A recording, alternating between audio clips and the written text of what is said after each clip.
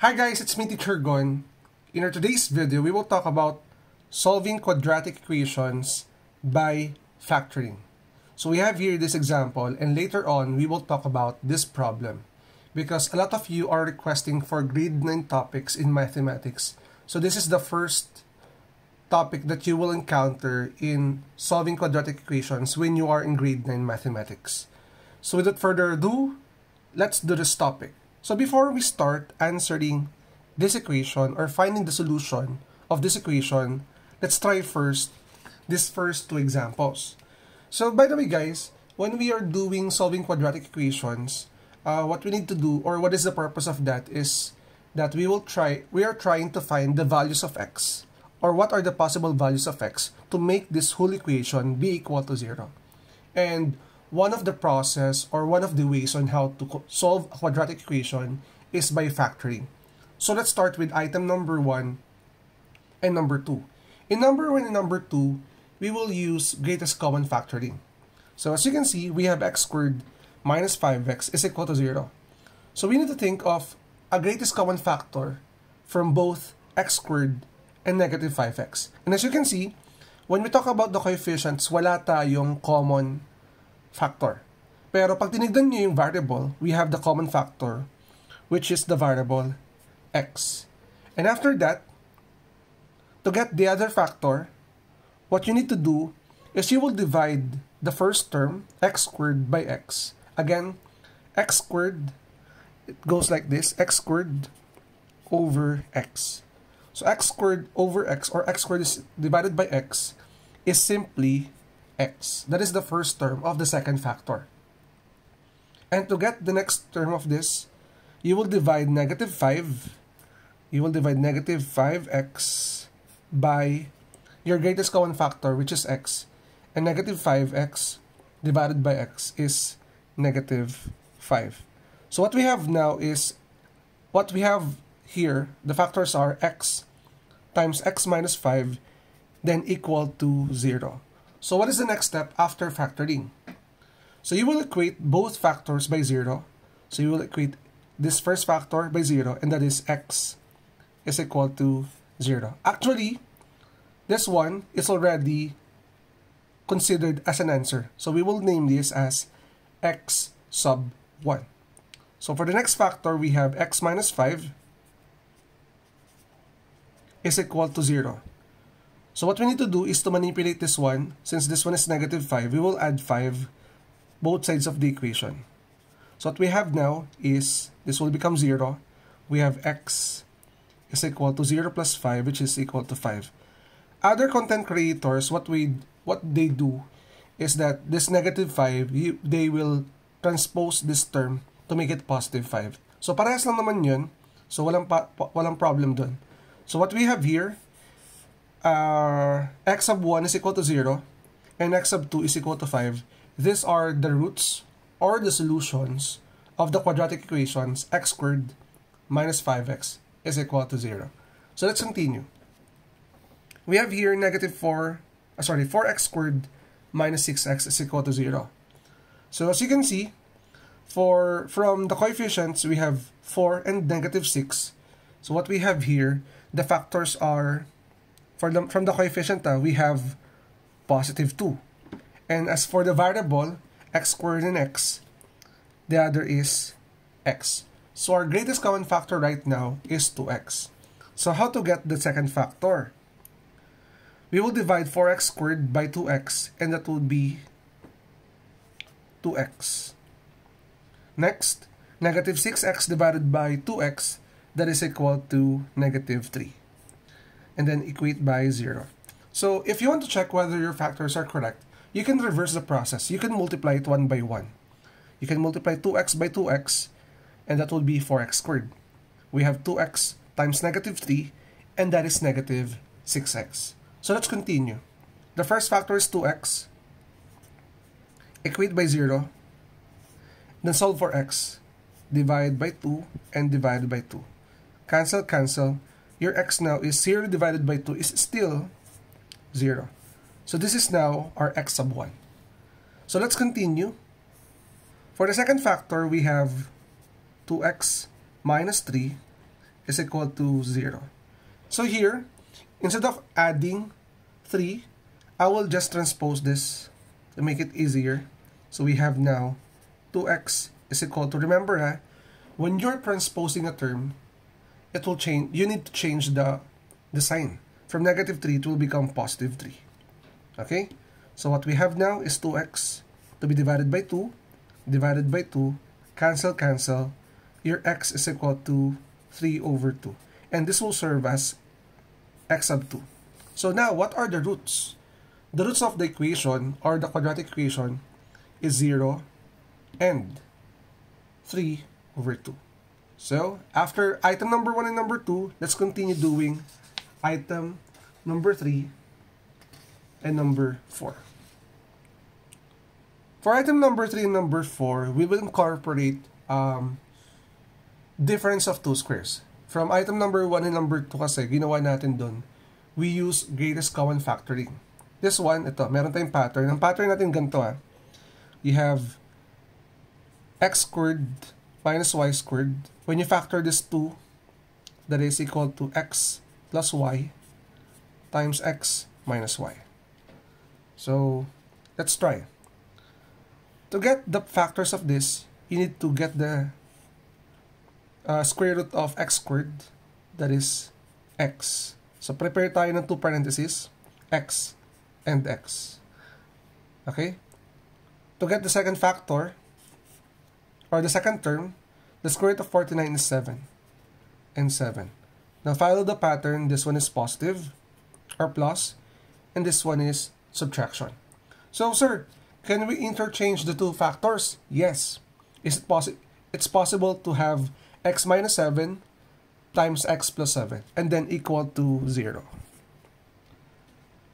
Then since we have two factors, we can equate both factors by 0, that is x plus 7 is equal to 0, and the other is x minus 7 is equal to 0. So what's next? Is we will transpose this to the other side. From positive, it will become negative, so that is x sub 1 is equal to negative 7. This is the first solution or root of x squared minus 49. Let's continue. Transpose this to the other side. From negative, it will become positive. So it, that is x sub 2 is equal to positive 7. And these are the roots of x squared minus 49 is equal to 0. We have negative 7 and positive 7. Let's move on with nine, number 4. We have 3x squared minus 75. So as you can see, um, we cannot use directly the difference of two squares. Pero, pwede muna tayo mag-factor. As you can see, we have 3 and 75. So, factor muna natin, that is 3 times 3x squared divided by 3 is x squared.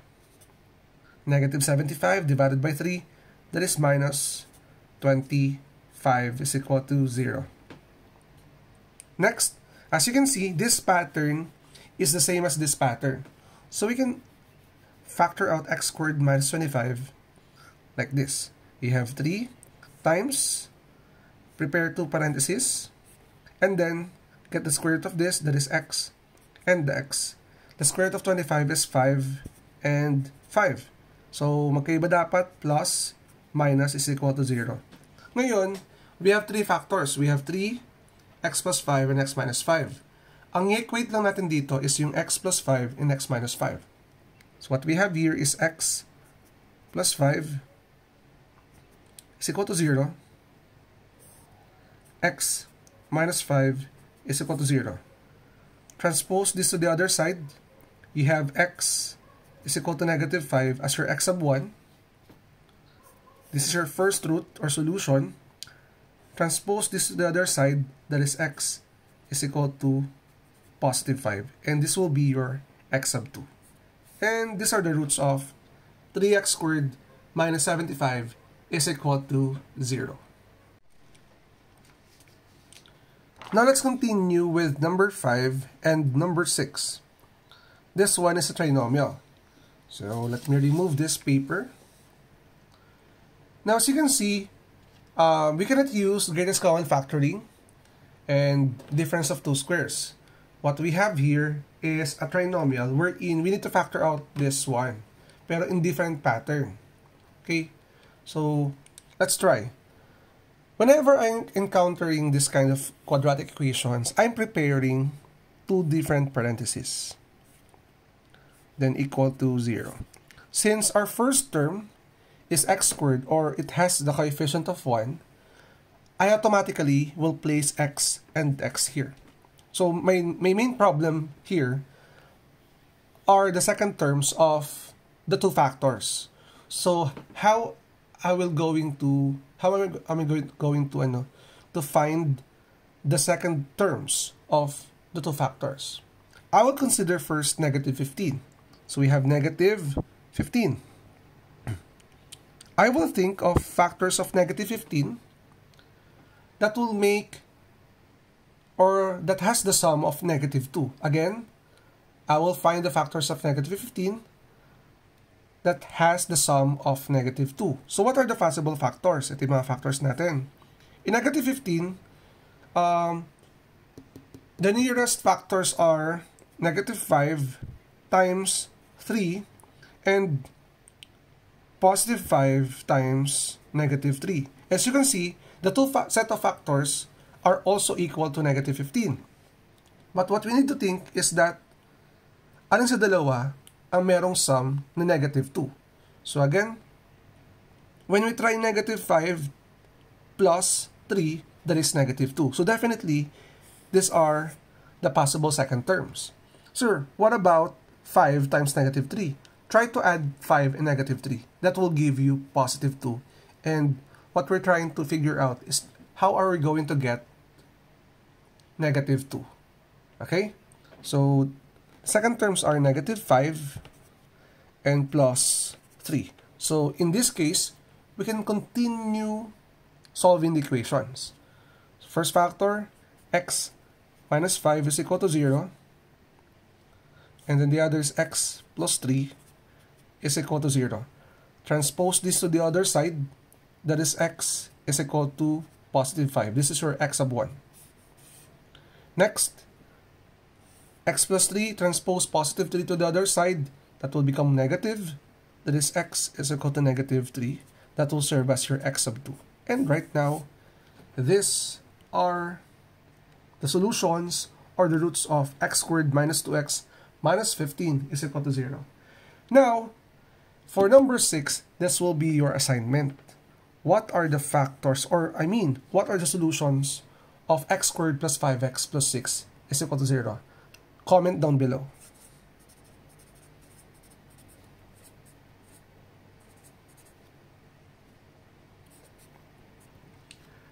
Now let's move on with our first example. In our first example, we have here x squared plus 3x minus 28. So, let's figure out what are the factors first of negative 28. But before that pala, we will prepare two sets of parentheses. Okay? Then equal to 0. So, continue natin. We have negative 28. For negative 28, our target here is to find the factors of negative 28 that will give us the sum of positive 3. So, when we talked about the possible factors of negative 28, the nearest pairs are negative 7 and times 4. The other pair is positive 7 times negative 4. So again, don't get me wrong because 1 times 28, uh, 1 times negative 28 or negative 1 times 28 are still possible factors of negative 28. But what we're trying to figure out here is that the factors must give us the positive 3. So ito yung pinakamalapit. Let's try. Negative 7 plus 4, that is negative 3. So it's not possible. So 7 plus negative 4, that is positive 3. So what we have now, these are the possible factors or possible factors of negative 28. So get the square root of x squared, that is x and x. Next,